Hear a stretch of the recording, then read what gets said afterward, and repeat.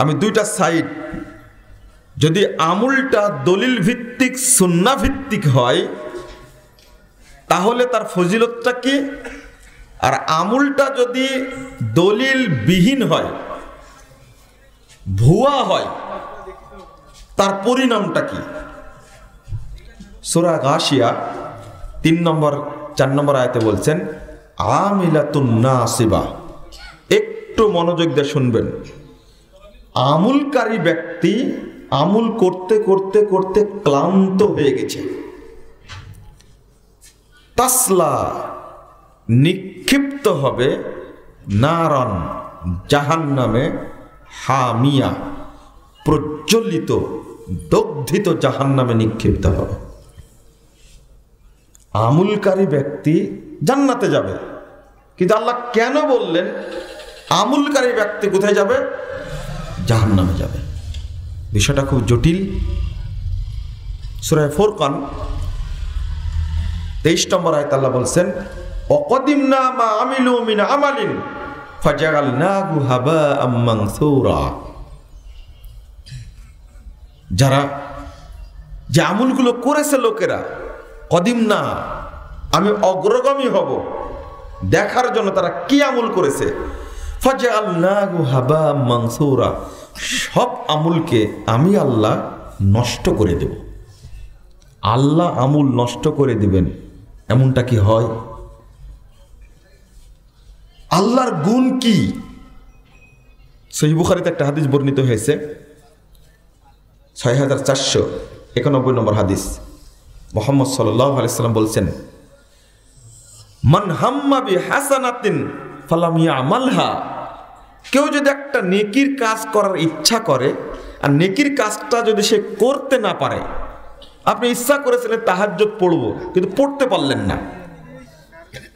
কিন্তু রসুলাম বলছেন হাসানাতান কামেলা। আল্লাহ রব্বুল আলমিন তার জন্য পূর্ণ নেকি লিখে দেন। আমল করতে পারেনি, কিন্তু ইচ্ছা করেছিল, আল্লাহ নেকি লিখে দিয়েছে। ওমান হাম্মাবি হাসানাতিন ফাইয়া আমলহা আর কেউ যদি আমুল করার ইচ্ছা করে, আর আমুলটা যদি করে ফেলে, ইচ্ছা করেছিল কোরআন তেলত করবে, তো কোরআন করে ফেলল। তাহাজ্জত পড়তে চেয়েছিল তাহাজ্জত পড়ল। রসুল সাল্লাহ সাল্লাম বলছেন, কাতাবাহাল্লাহু আশরা হাসানাত ইলা সাবিয়ামিয়াতি জেফিন ইলা আদআফিন কাসীরা। ওই ব্যক্তির জন্য আল্লাহ দশ নেকি লেখেন। দশকে তিনি সাতশো পর্যন্ত বৃদ্ধি করেন। সাতশোকে তিনি অসংখ্য গুণে গুণান্বিত করেন। তাহলে আল্লাহর কাজ হলো নেকিকে বৃদ্ধি করা। আর আয়াতে বলছে, কাল কেয়ামতের মাঠে আমুলগুলোকে কি করে দিবেন? নষ্ট করে দিবেন। তাহলে ওইটা কোন আমুল? আল্লাহ রব্বুল আলমিন বলছেন, এবার পাশাপাশি দুইটা আয়াত। আচ্ছা আমরা আপনারা কি আমার ভাষা বুঝছেন? সমস্যা হচ্ছে না তো? আপনাদের ভাষা আমরা বুঝব না। এই জন্য জিজ্ঞেস করছি। আমাদের আব্দুল সবুর ভাই বক্তব্য দিলেন, শুরুতে শুনলাম, সেই দুই হাজার তিন সালে, দুই হাজার দুই সালে, আজ থেকে অনেক দিন আগে, আঠারো বছর আগে, আপনাদের এই সিলেটের একবার প্রত্যন্ত অঞ্চলে দাওয়াতি কাজ করেছি, তখন ওই ছাত্র মানুষ। বক্তব্য দেওয়ার পরে যখন প্রশ্ন করতেন, তা আমি তাদের ভাষা বুঝতাম না। তা আব্দুল সবর ভাই অনুবাদ করে দিতেন যে উনি এটা জানতে চাচ্ছেন। তখন আমি উত্তর দিতাম। বিভিন্ন মসজিদে প্রোগ্রাম করেছি তো, আপনার কাফড়লা এলাকা আছে না? শ্যানগ্রাম একটা এলাকা আছে। কোন থানা তা বলতে পারব না। গাছবাড়ি একটা এলাকা আছে। একেবারে প্রত্যন্ত অঞ্চলে হেঁটে হেঁটে প্রোগ্রাম করেছি সেই সময়। এখন যাওয়া হয় না। তো আমার ভাষা বুঝছেন কিনা এটাও একটা চিন্তা। সমস্যা হচ্ছে না তো?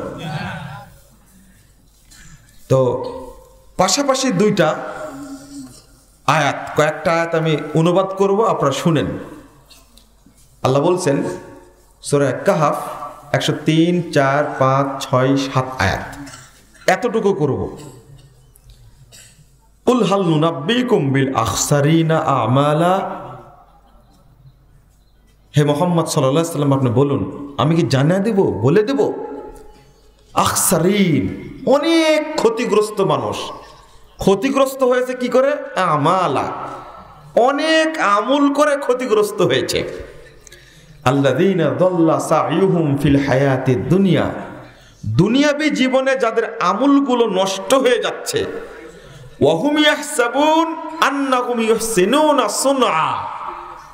অথচ তারা ধারণা করছে, আমরা ভালো আমুলই করছি। আল্লাহ বলছেন, আমুল করে পথভুষ্ট হচ্ছে। আর মানুষ মনে করছে, ভালো আমুল করছে। দাবিটা কার সঠিক? আল্লাহর না মানুষের? আল্লাহর দাবি সঠিক। মানুষ মনে করছে তো ভালো আমলই তো এটা। সমস্যাটা কোথায়? কোথায় সমস্যা? আল্লাহ বলছেন, পরের আয়াতেই বলছেন আবার কাফারু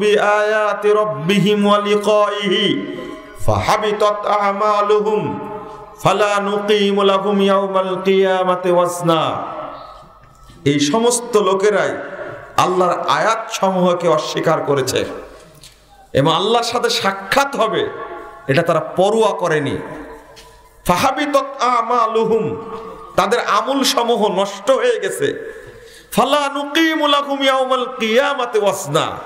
কাল কিয়ামতের মাঠে তাদের জন্য আমি কোনো প্রমাণ স্থাপন করব না, কোনো প্রমাণ থাকবে না। বিনা হিসাবে কোথায়? জাহান্নাম। তারপরে আয়াতে বলে দিচ্ছেন আল্লাহ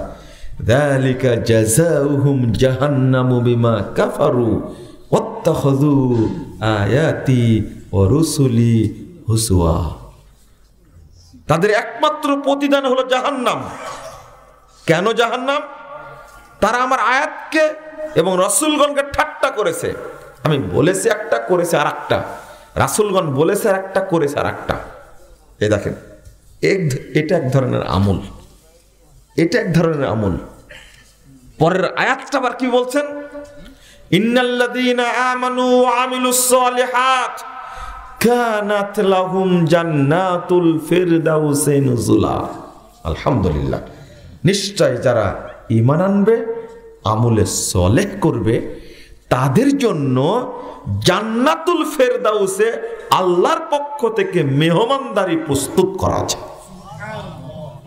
তাহলে পাশাপাশি দুইটা আমলই। এক ধরনের আমল করলে মানুষ কোথায় যাবে? জাহান্নামে। আর আমলে সলেহ করলে কোথায় যাবে? জান্নাতে। শুধু তাই, লা ইয়াবগুনা আনহা আনহা হিওয়ালা। খালিদিনা ফিহা, তারাও জান্নাতুল ফেরদাউসে চিরদিন থাকবে। লা ইয়াবগুনা আনহা হেওয়ালা। এই জান্নাতের স্থান তারা পরিবর্তন করতে চাইবে না। চাইবেই না। আমরা আরও থাকব জান্নাতে।